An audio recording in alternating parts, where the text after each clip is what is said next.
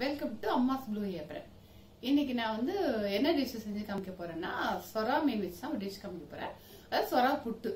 அது வந்து ரொம்ப ரொம்ப ஹெல்த்தி உடம்புக்கு சொரா மீன் உங்களுக்கு எல்லாருக்குமே தெரிஞ்சிருக்கும். அது சு- புட்டு பண்ணீங்கன்னா ரொம்ப ரொம்ப டேஸ்டா இருக்கும். ரொம்ப எல்லா குழந்தைங்க கூட ரொம்ப விரும்பி சாப்பிடலாம். அது எப்படி செய்யறதுன்னு காட்டுறேன். வாங்க கிச்சனுக்குள்ள போலாம். இது வந்து சொரா போட்டு வந்து எப்படி செய்யறதுன்னு உங்களுக்கு காட்டுறேன். அதுக்கு வந்து முதல்ல சொரா பாருங்க. சொரா மீன் வந்து ஒரு முக்கால் கிலோ எடுத்துக்கிறேன் நான். இது வந்து நீங்க பால் சொரான்னு கேட்டு வாங்கிக்கங்க. அப்பதான் நல்லா இருக்கும். பால் சொரா புட்டு பண்ணணும்னு சொன்னாலே இந்த மாதிரி உங்களுக்கு வந்து தோல் எல்லாம் எடுத்துட்டு அழகா கிளீனா கட் பண்ணி கொடுத்துருவாங்க. சப்போஸ் தோல் எடுக்கல நீங்க வீட்டுல கட் பண்ணாம ஒன்றும் ப்ராப்ளம் இல்லை. வேக வச்சப்பறம் தோலை நம்ம உரிச்சிக்கலாம். இது மாதிரி கட் பண்ணி வாங்கிட்டு இதை வந்து ஃபர்ஸ்ட் நம்ம வேக வச்சுக்கணும். அது என்னென்ன பொருள் தேவைன்னு சொல்லிடுறேன். பெரிய வெங்காயம் வந்து ஒரு ரெண்டு வேணுங்க. பூண்டு வந்து ஒரு பத்து பல்லு. கருவேப்பிலை கொஞ்சம் ஒரு ஒரு பாதி பச்சை மிளகா அப்புறம் மிளகாத்தூள் வந்து குழம்பு மிளகாத்தூள் தான் சாம்பார் மிளகாத்தூள் தான் ஒரு அரை ஸ்பூனு. அப்புறம் ஒரு அரை ஸ்பூன் வந்து மஞ்சத்தூள்.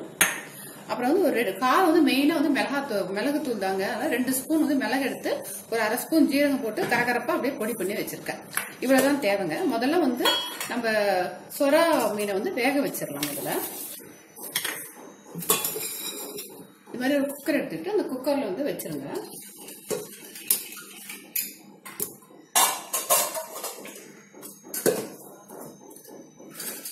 போட்டுட்டு இந்த மஞ்சத்தூளை வந்து அதில் போட்டுடலாம்.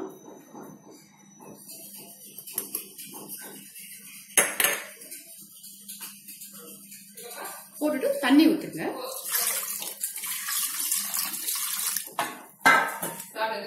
பாருங்க.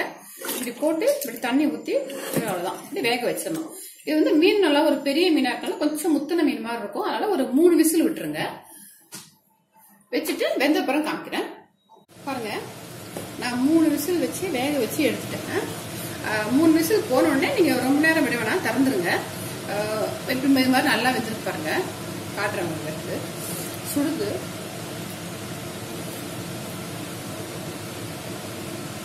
சரிங்களா இப்படி எடுத்தாலே இதாக வந்துட்டு பாருங்க. ரைட் பாருங்க. இது பாருங்க. எப்படி இருக்குங்க? இப்படி இப்படி எடுத்தோடனே வந்துட்டு பார்த்தீங்களா சாஃப்டா வந்துட்டு பார்த்தீங்களா இப்படி எடுக்க வேண்டியதுதான். இது மாதிரி இந்த எலும்பெல்லாம் இல்லாம எலும்பு இருக்கலாம் எடுத்துட்டு இது மாதிரி நீங்க வந்து பிச்சு பிச்சு இப்படி வச்சிருங்க எல்லாத்தையும். நான் வச்சுட்டு காட்டுறேன் உங்களுக்கு. பாருங்க. ஆஹ் இந்த இது சொரா மீனை வந்து நல்லா வந்து வேக வச்சதை எடுத்து நல்லா இப்படி எலும்பெல்லாம் எடுத்துட்டு அழகா வந்து இப்படி ஊற்றி வச்சிருக்கிறாங்க. இது மாதிரி ஊற்றி வச்சுக்கோங்க. அப்புறம் வெங்காயம் பூண்டு பச்சை மிளகாவை கட் பண்ணி வச்சுட்டேன். எப்படி தாளிக்கிறதுன்னு காமிக்கிறேன். அடுப்புல வந்து ஒரு சட்டி வச்சிருக்கேன். சட்டி வச்சு ஒரு ரெண்டு டேபிள் ஸ்பூன் வந்து ஆயில் போட்டுருக்காங்க ஆயில் சூடாச்சு இப்போ வந்து சோம்பு தாங்க போட்டு தாளிக்கணும் அதுக்கு.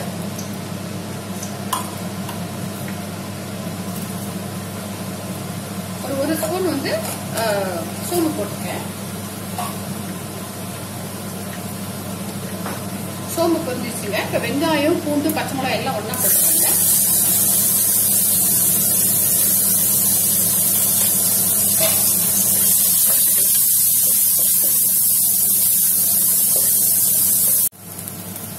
இப்ப கருவேப்பிலை போட்டிருக்கேங்க.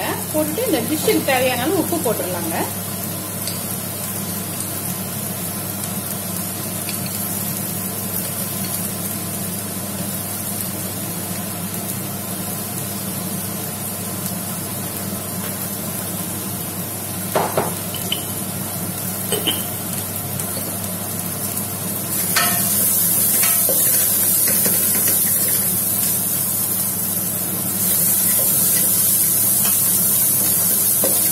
இந்த அளவு வதங்கினா போகுங்க ரொம்ப இதாக வேணாம். இப்போ வந்து இந்த மிளகா பொடியை வந்து மிளகா தூள் இருக்குங்களா சாம்பார் தூள் அதையும் போட்டுக்கலாம் அதில்.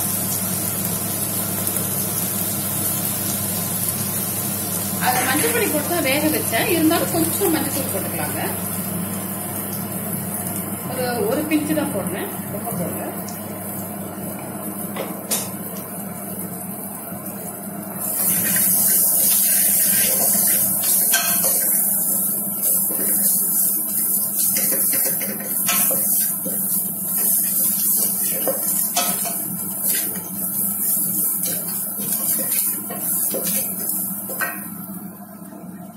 மீனை போட்டுடலாங்க. மீனை வந்து வச்சிருக்கோம் பார்த்தீங்களா? அந்த மீனை வந்து போட்டுடலாம்.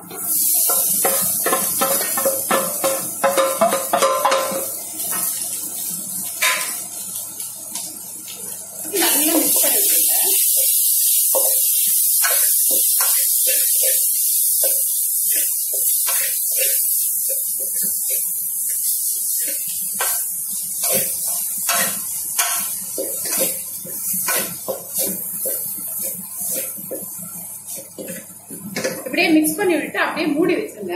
ஒரு ஒரு நிமிஷம் ரெண்டு நிமிஷத்துக்கு ஒரு எடுத்து நல்லா கலரி விடுங்க. கலரி விட்டு அப்புறமா தான் கடைசியா தான் நம்ம மிளகு ஜீரக பொடியை போட போறோம். ஏன்னா இந்த காரம் இந்த வெங்காய ஃப்ளேவரு அதெல்லாம் வந்து இந்த மீன்ல மிக்ஸ் ஆகி நல்லா வாசனை வருங்க. அது வரைக்கும் நல்லா சிம்லயே வச்சுக்கோங்க. வச்சுட்டு மூடி வச்சிடலாம்.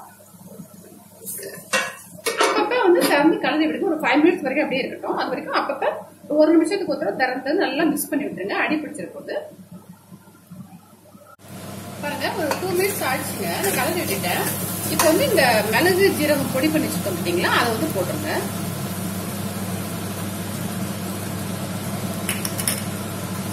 போட்டுட்டு ஒரு டூ மினிட்ஸ் இருந்தா போடுங்க.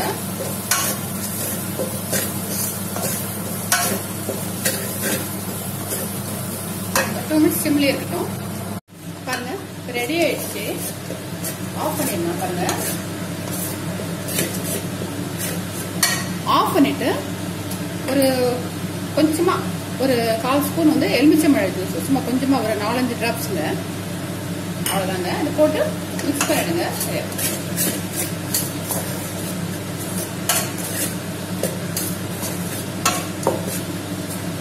இது எடுத்து சர்வ் பண்ணிட்டு காட்டுறேன்? பாருங்க இப்போ சூப்பரா வந்து சொரா பொட்டு வந்து ரெடி ஆயிடுச்சு. கண்டிப்பா நீங்க ட்ரை பண்ணி பாருங்க. எப்படி இருக்குன்னு கமெண்ட்ஸ் சொல்லுங்க.